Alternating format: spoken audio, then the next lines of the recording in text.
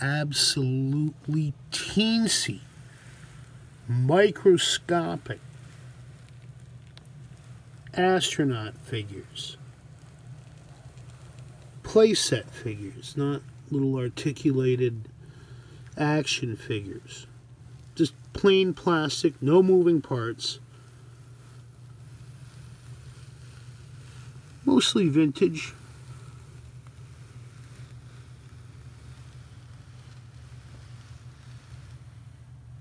And I arranged them up here in descending scale. I got this guy out. He's like a three inch MPC multiple toy makers Geiger counter guy, and I decided that this series is my favorite spaceman of all time, and he, he's he's oversized. That's your usual sized MPC multiple toy makers Geiger counter guy. There's a Rex Mars, Marx Toys Rex Mars female, generic Tudor Rose miniature archer figure. Nosco Crackerjack guy. I want one of those to paint. I love that figure. There's probably the rarest of them all, which was my own Revell Tranquility Base model kit from 19, I think I built it in 76 or 77. It's probably 77. There's a Me Toys one and a half incher there's one of the small plastic downsized Space Mini Archer figures and a green mystery spaceship Marx 30 millimeter astronaut and next to him uh, sort of 28 millimeter the lunar exploration miniature playset series it's a little bit smaller even than the uh, Space Ranger and Mystery Spaceship Spaceman. They made a different mold for it. And, you know, how, how do they shrink them down? Do they like compress the mold? No, I don't think so. I think they have to sculpt a new figure. Anyway, anyway, there's a, a gold uh, Buck Rogers. I think it's a role-playing game piece. And I think that's Dr. Huer from a soft plastic. I can't remember the name of the company that makes them. You can find those. Those are those aren't difficult to find. And next to him, what appears to be a midget miniature roundabout 20 8 millimeter, 25 millimeter Hing Fat spaceman with with lunch box and wrench. He's one of my favorites. So one of my favorite spacemen in my whole collection.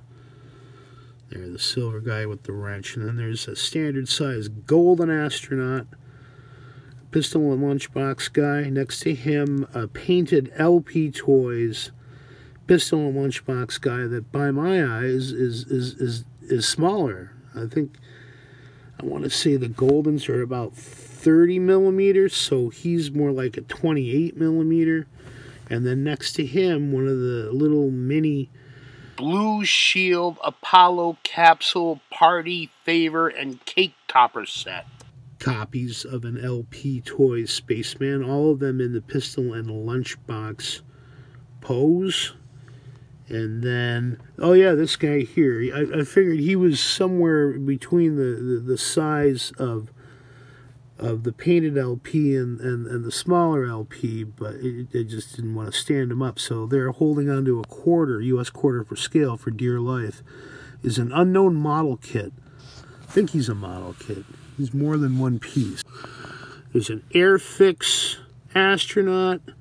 I've got a whole bag of Airfix spacemen. I haven't, I, I, don't know why I never thought of like, dude, man, you got all those Airfix spacemen. I got them for like $2. And then next to him, a uh, multiple toy makers golden astronaut uh, of the Geiger counter guy there at, at the beginning. They, they shrunk him down even further. And, and next to him is, I think, his date for the uh, for the astronauts ball. That's a Soma uh, made in China space. I think that's the space female, Olga. Looks like a looks like a cosmonaut.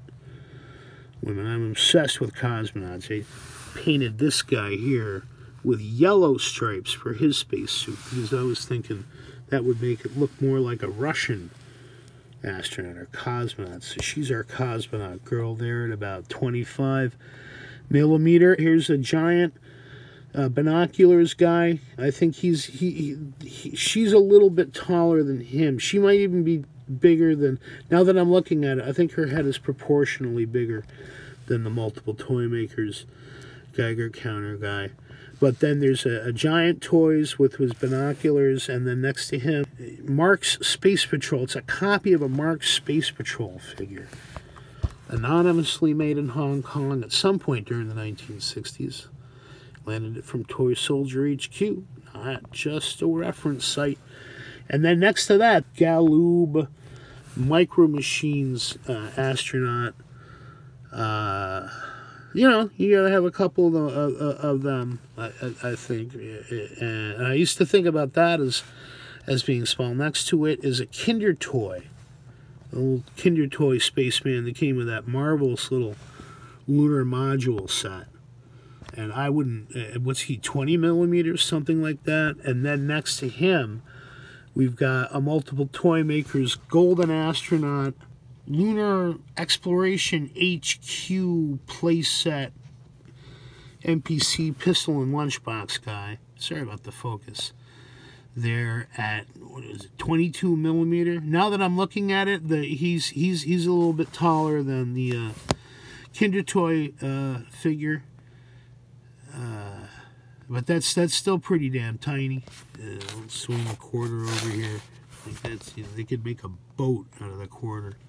And then last but least, the Carradus Miniatures Space Commando with his uh, his little box there. Yeah, so th this would be like a, a, decorative element for your dollhouse of a of a, a, gift, like a like a Christmas gift or something, or just a, a in a boy's room, a little retro looking astronaut. I wouldn't begin to guess what scale he is. And, and, like I was saying, I went shopping for another one, and I, I, I, came up empty. All the, the places that I would know to look, and, and a few that I found, have it marked as sold out. But I found something else.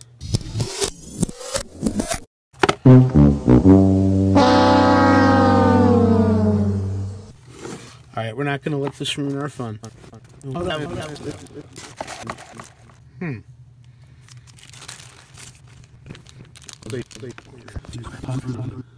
Well, interesting little spaceman in an Apollo suit. I did not understand that he was standing on a piece of glass. He's of the right size, you know, and, uh, you know, on these planetscapes, you're going to be standing on rocks and stuff, so there's, there's ways to work with it. We're definitely not going to try to crack him off of there or hack him off of there, but I, I was hoping he was a little bit smaller on the range of the uh, Carradus Space Commando, and I'm going to have to track down another one of them. I was just wondering, did they make these? Did they make this? I was trying to see here if there's any markings on the bottom, some sort of a maker's mark. I don't know if there's anything to see. Whoa. Is to uh, start with the Golden Astronaut, so he's not even as big as a golden astronaut. Let's go with an Airfix astronaut. And that looks about right. I'm just trying to figure out what he's on the scale of because then I can just know. How about that? Just to know it. And it's definitely not a toy. It's it's more of a memento or uh, we used to call them touch me nots. That's my first touch me not astronaut. You put it up on the whatnot shelf and you don't touch it. it just sits there. It would have driven me crazy as a kid. I would have destroyed this thing.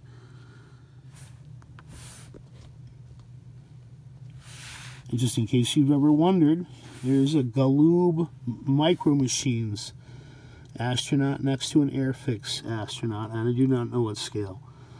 Ah, dude, help me! You see where we're going with this? And you get a couple of pictures and it can be projected or printed and then painted over. Or just put them in one of them boxes. And they're getting both the figure and its presentation box that, that they can have there on their whatnot shelf and not touch it. Ever ever ever